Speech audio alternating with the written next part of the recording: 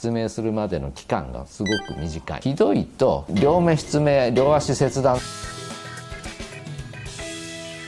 みんなで生きよう !100 年チャンネルどうも。梶原です。高本です。よろしくお願いします。いやねもう先週もねレーザーたくさんやったんですよ。レーザー？緊急でやんなきゃならないレーザーもあるしね、はい。レーザーってね緑内障のレーザーとか網膜のレーザーとか何種類あるんですよ、でまあうちはねレーシックとかやってないから角膜のレーザーやらないですけども、はい。先週はね本当に網膜のレーザーが多くてもうくたくたですね。結構ねレーザーって言ってもそんなに時間かかるわけじゃないんですけど何分ぐらいですかまあ短い人は2分ぐらいだけど長い人は5分とかやってますね。あでも5分でも短いですよ。でも先生5分間ずっと集中してこうやってやってるわそうけです集中したりね、はい。こう息止めてたりとかねうわ気づいたら。5分間生きといてるんですか？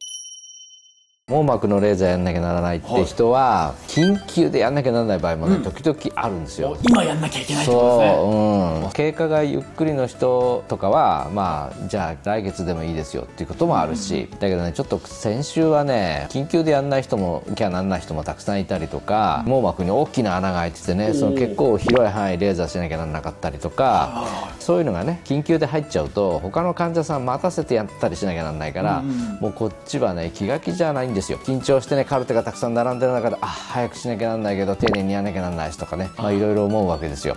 そうですうん、ありがとうございます。ありがとうございます。緊急でやんなきゃならないレーザーの中で、まあ結構割と自覚症状があってくる人はいるわけですね。はい。どんな症状ですか？えっとね、それ飛蚊症って言うんですけども、飛蚊症、えなんか聞いたことありますけど。ありますか？え友達でもいますよ。で結構なんていうんですか、俺見えるよとか、うん、そうですね。飛蚊症がね逆に全くない人っていうのもむしろ少ないぐらいなんですよね。うん、飛蚊症とそのレーザーの関係をねまず言いますと、一番ね数的に今うちで多いのはやっぱり網膜剥離の原因になるような穴が網膜に開いちゃってる状態っていうのが一番多いですね。えもう開いちゃってるんですか？そうそうそう。簡単に言うと、ここに網膜がずーっとありますはい。張り付いてますね。網膜ね、でここのとこういうところとかこういうところどこでもいいんですけど、まあ、ちょっとね裂け目が自然にできちゃうことがあるんですよ。はいはいはい。でそうするとねそこから出血したりちょっとピピって出血したりとか組織の破片が飛んだりとかはい。するとねこの辺にそういうものが出てくるじゃないですか、はいはいはい。そうすると光の通り道にそういうものが出てくるとここに影が映るんですよ。はあ、ね、でそれがまあ病気とは関係ある飛蚊症なんですね。なるほど、うん、でねもともとここにあるね小子体ってねドローっとしたものなんですね。はいで卵の白身みたいになってて子供の頃はパンパンに入ってるんですけど、はいだんだんこうしぼんでね前の方へ少しこう移動してくるんですね。だこうなってたものが、まあ、ししわが寄りながらこう前に出てくるんですよ。ここ空洞になっちゃうんですか、この開いてるところ。そう。そこは水ですね。あ。水が入っちゃう、うん。おうおうでねだからここのシワ自体も不均一でしょ？シワがたくさんギュッて締まってるところもあれば、シワとシワの空いてるところもあるかあらー。でそうするとねそのシワ自体が光の通り道にちょっと影を落とすわけです。それはもう生理的な飛蚊症って言ってね病気とは関係ない飛蚊症として感じるわけですね。あもうじゃあ全然安全というかもう何も問題ない。そうそうそうそう。ですね。うん。はい。だからこう卵の白身があって、まあ、ちょっと濃度が濃いところがあると、はい。まあ、なんだっけあれ？カラザくん？白身についてるあの白いやつですね。白いやつね。カラザくんがちょっとあったりする特にそういうものがあると、少し大きくて黒いものが見えたりするわけです、それは別に誰にもある、そう。その代わりに、はい。そういうのだけじゃなくてね今言ったように何かこう破けた時に出血が出ちゃったとか組織の破片が飛んだりするね、はい。カラザクみたいなものがたくさん出てきちゃうんですよ一気にね。あ穴が開いた時はここに入ってる水がね穴から網膜の下へ入り込んでっちゃうと、網膜がこう剥がれてきちゃうんですよ壁紙が剥がれてくるようにこう落ちてきちゃうんですね。それでねこの黄斑部ってものを見る大事な部分。あはい。この辺まで剥がれてきちゃうともう突然見えなくなっちゃうんですね。わあ、スクリーンが破けて真ん中が破けてたら映画楽しめないですよね、そんでだからいきなり見えなくなるってこともあるし、なんかなんとなく端の方がおかしいななんかってね。そういう場合もあるんですけど網膜剥離に関係して出てくる飛蚊症はい。これがまあ一番多いわけです。はでね今言ったようにですね非文章には怖い非文章と、はい。怖くない飛蚊症があると。まずこれをしっかり頭に入れてほしいんですよ。はい。でねいきなりその剥離の話をしましたけど、はい。実を言うと剥離以外にも怖い飛蚊症って他にもたくさんあるんです。たくさん？代表的なものを言うとですね、はい。目の奥に出血するような病気は全て飛蚊症の原因になるわけですね。すべて？うん、多いのはね糖尿病性網膜症っていうやつなんですよね。糖尿病？メタボの人気をつけてねみたいな聞きますけど、うん、私が眼科医になった時代に比べて重症な糖尿病性網膜症って随分減ったんですよ。うん、やっぱり社会的にね糖尿気をつけなきゃいけないとかね、えーそういうのがだんだん世の中に広まっていったんで、悪くなるまで全く放置してるっていう人は昔に比べたら少ないんですけど、あはい。ただねやっぱり糖尿の人はね割とこう楽観的な人が多くてね、はい。くら言われてもですね検査に来ないとか それから血糖値のコントロール全然しないとかですね。えー、そうなんですか、うん、そうなんですよ。長い時間かけて悪くなる病気なんですけど、はい。大体ね目の病気って多くがね相当悪くならないと自覚症状が出ないんですね。は逆に言うと早い時期に、はい。なんか偶然ポンって出血してねそんなに悪くない段階で出血したら本人も焦るんですけど、はい。何にも起こらないでどんどんじわじわ悪くなっていくとですねちょっと治療しても間に合わないっていうことが往々にしてあるわけですよ。数ヶ月前までこうトラックの運転手をしてたのに、はもう全然ほとんど見えなくなっちゃって。そんなにすぐなっちゃうんですか？そう。じわじわじわじわ悪くなるんですけど自覚症状が出始めてから失明するまでの期間がすごく短いんですよ。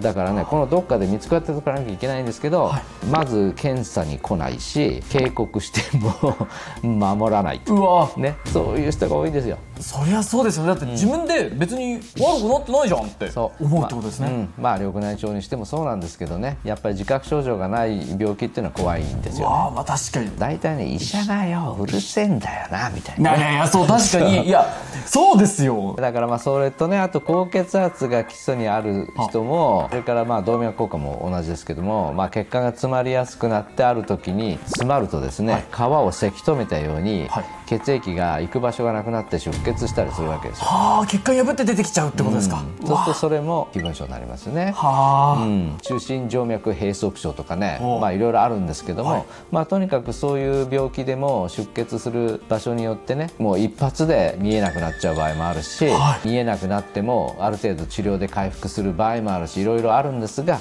まあ、とにかくね出血するっていうのは非分症にどれもなりうるんですね。はあ、つまり原因がたくさんあるってことです。そんなにあるんですね原因が。一口に飛蚊症って言ってもみんな見えてるし安全だろうってなれないってことですね、うん、原因はいくつもあります、はい。でそのうちは割とね本当に病気と関連して出てくる非分症っていうのは重大な病気が多いんですよ。はい。だから怖い非分症と思ってください。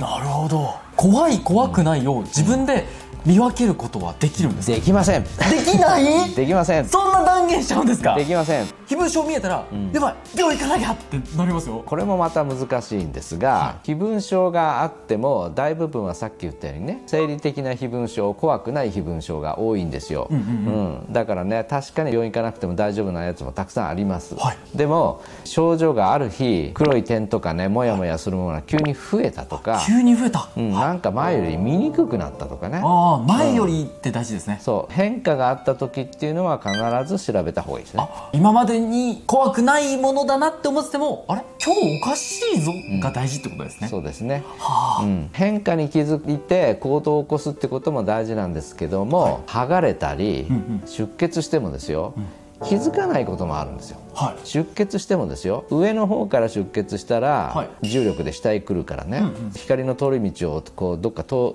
通ってくるわけですよ、うんうんうんそれね目の中に見えるものはねこう上下左右がひっくり返って見えるから、はい。上からなんか落ちてきたら下から煙が上がってきたように見えるんですね。